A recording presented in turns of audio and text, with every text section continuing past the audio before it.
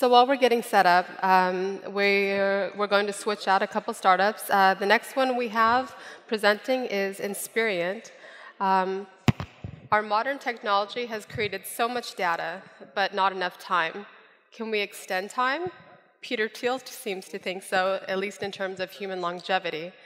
But um, Inspirient is trying to solve the problem that we can better benefit from what time we do have and putting it to good use. Um, this startup will do exactly that. It translates the key insights derived from your company's data so that work time is 90% more effective. This means that companies can focus less on data and more and invest more energy into delivering results. So thank you very much for the kind introduction. My name is George Wittenburg. Um, I'd like to talk today very, very briefly about discovery. So discovery as a topic is enticing because there's so many happy accidents that happens when you just go out there. Like, no, you go out there and try to discover India, but you discover America. Or a apple falls on your head and you discover physics. Or uh, you leave your Petri dish somewhere in the lab and you discover antibiotics. And that's, that's so intriguing that we at Inspirient, we are asking the question, so how can we replicate this discovery in the digital world? How can we leave a like digital petri dish somewhere and then just something miraculous happens? How do we get into the unknown? And you know, it's not that you build your discovery ships out of blocks, but it's rather a question of thinking about, hey, there's a whole digital landscape out there that's kind of waiting for you to find the most interesting things out of it. And this is built out of data, of course. Right? So the question is, in this digital landscape, where are exactly the points that you should care about? Where are the, the sites, the interesting bits? Right? So we are saying at Inspirient, discovery is really the discovery of new insights in the landscape of your data. And that's only half the truth because, as you would know, you know, everyone who's heard big data knows that this landscape is so huge that you can't possibly navigate it as a person. So here's the twist. This is the automated discovery of new insights in the landscape of your data, and this is what we're doing at Inspirient. Uh, at Inspirient, we're building an artificial intelligence that can ingest business data sets, tables, the things that you guys got in your inboxes as your Excel sheets, and will automatically scan that data for things that could be interesting for you so you can actually think about results rather than busy yourselves with doing the analysis and the pivots and all the things that just waste your time. And since this is a demo, I'm actually going to show this to you. Um, so um, I, I, was thinking hard and long about what could be a very valuable uh, example, and this is the most valuable example that I could find. This is the data set from the US American Environmental, Environmental Protection Agency, in which they tested a couple of vehicles for emissions two years ago, three years ago, right? And so a well-known German automaker is right now putting some $18 billion aside for saying, okay, let's deal with the fact that we didn't know that we were kind of the outlier in this. So wh what you can do with Inspirient um, is that you basically, um, you can take that data set,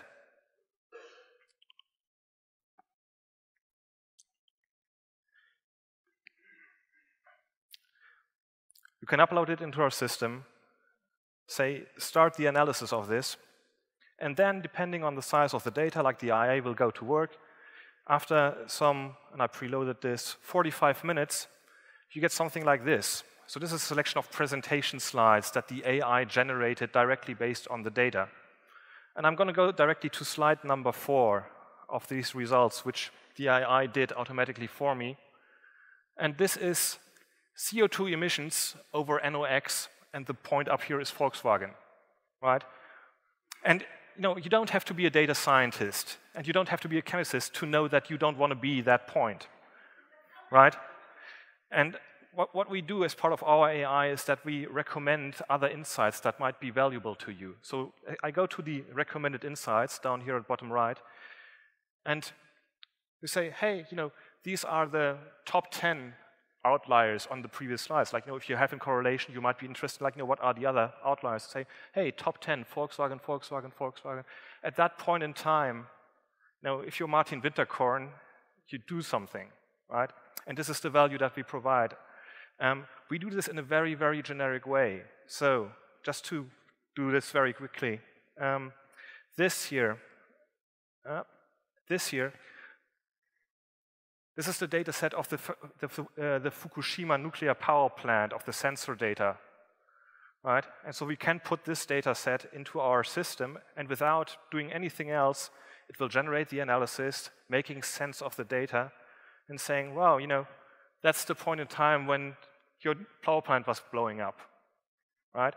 Or uh, to make it a bit more apply to something that companies would want to do every day, um, uh, this here's a data set from DB Schenker when they're shipping containers around the world.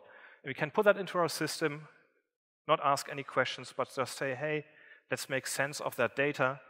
Here are the slides that the system produces automatically. And for instance, what you get is, well, you don't see the continents right now, but this is basically America on the one side, and this is Eurasia on the other side. This is the trip that your container takes through the world, and you kind of see where the temperature has been rising slightly above that, right? So this is something as a logistics company that you care about because you don't want to have your goods get hot, right? Um, so you got a topic of automation in here. Stuff is happening automatically to your data, and you you get to uh, you get to think about results rather than to think about um, analytics. So you, you, know, you got the obvious stuff of time and cost saving in here, right? But what I find most, most interesting in the context of artificial intelligence is that AI thinks differently than you, right? So let's, let's reflect on, upon this. As a human, you got a certain knowledge about your business and you got a certain intuition of what might be relevant for your business. But AI thinks differently. AI can scale to great data sets. So for everything else that is in your data, our AI will bring that to your attention and you can think about that. And then, you know, if we had been around maybe four years ago and say, hey, Martin, Winterkorn, there's something in that data, maybe you want to have an intuition and idea about doing something, you know, maybe save fewer $18 billion. So, um, great thing about Inspirient is you can actually try it. There's someone, someone from my team over here um, so if you want to have a test drive of this yourself right here, talk to these guys over here, and you can just actually browse around in someone else's data if you'd like to. And other than that, thank you so very much for, for your attention. Happy to answer any questions you may have.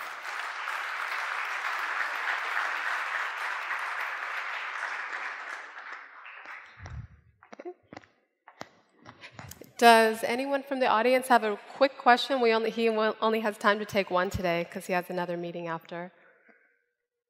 Yes? You have the microphone, so go ahead. Yeah, it's a competitive advantage to have the mic. Um, mm. Can you talk about how clean the data has to be in order for you to pr produce these slides? Yeah, so that's actually a great question, right? Because in the general like realm of business analytics, you have this problem of data cleansing, and you need clean data to run your algorithms. That is because you have different tools in the production chain of producing slides that you can put on the table of someone. But what we do is we just take imperfect data, say, hey, you know, data is missing, whatnot, and we just add a sticker to the slide and a footnote saying, like, we did this analysis anyway on what data was available to us. And we actually leave it to the business guy in front of the, uh, in front of the screen or in the meeting to make up his own mind to say, well, is this good enough for my purposes? Or would I need something better? So actually, we kind of sidestep the problem of data cleansing by just saying, if you care about this, maybe clean up your data afterwards. So okay. Yeah. So thank you very much. Thank you and, very much. Um, let's give German Auto Labs uh, another try. Let's see if we can get the